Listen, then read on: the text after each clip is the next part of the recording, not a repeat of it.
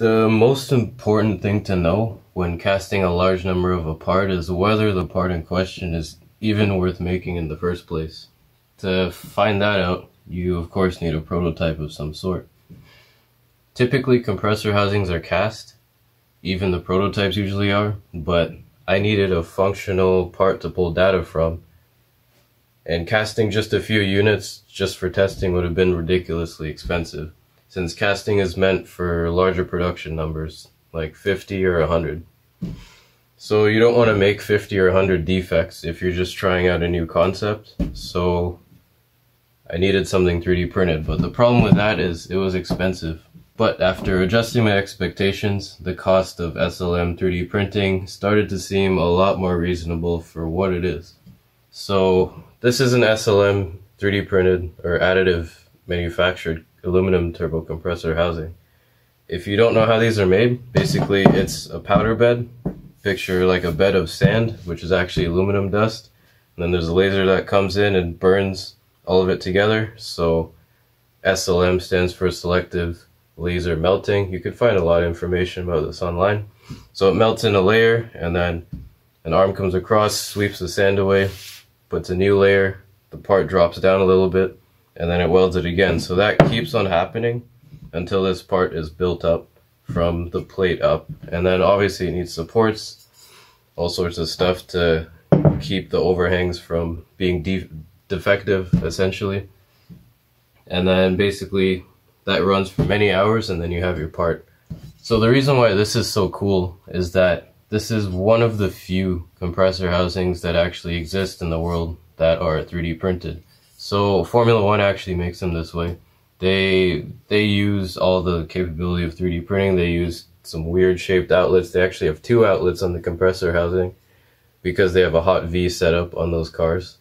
And I don't know what other crazy stuff they have going on, but basically they only need one turbo per car. Each car has some slightly different setup, I'd assume, so it makes more sense for them to 3D print it. Uh, so F1 makes it this way, uh, maybe some other turbo manufacturers make it this way, just for prototypes. I'm not actually sure, because no one's really vocal about that. But I actually went ahead and did this, so I figured why not share it. It's there's nothing really to hide here. This is actually just, it looks like a cast part to be honest, except the method of manufacturing was anything but typical. I really didn't believe the quality of SLM could be this good. It does, it, again, it does look like a cast part. Uh, it looks like a cast part with very good finish, by the way. Usually it's a lot more rough on the inside and deep inside the, the volute on these housings. Usually it's a lot rougher than this, so you know smoother's good for better airflow. Um, this was polished a little bit just to remove the supports. Upon machining, my machinists were noting that this machine's a bit different from uh, cast. You can tell that the material itself was stronger just by the chips that were coming off of it. Uh, castings usually have small areas of porosity inside them uh, that you can't really get rid of. Even a really refined part might still have a little bit. So since this is welded from basically the ground up from uh, powdered aluminum, you don't really have any porosity. So the result is this feels fairly dense compared to other compressor housings I've dealt with. That just might be me saying that, but it feels very strong.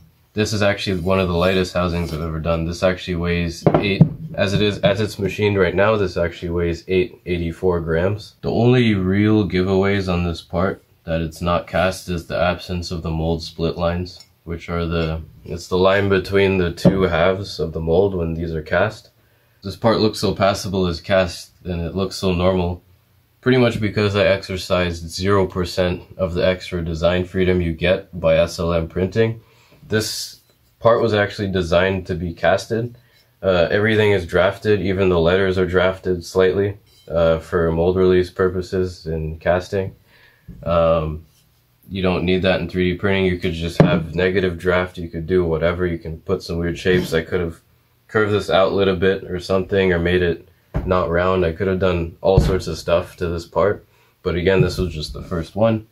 Um, this one doesn't actually have a shaft speed sensor because of what I'm running it on.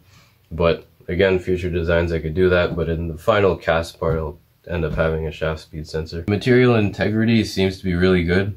Uh, based on the print resolution and the material properties of AL Si 10 MG, or just the, the standard grade 3D printed aluminum, uh, it actually has higher tensile strength than A356, even when A356 is heat treated.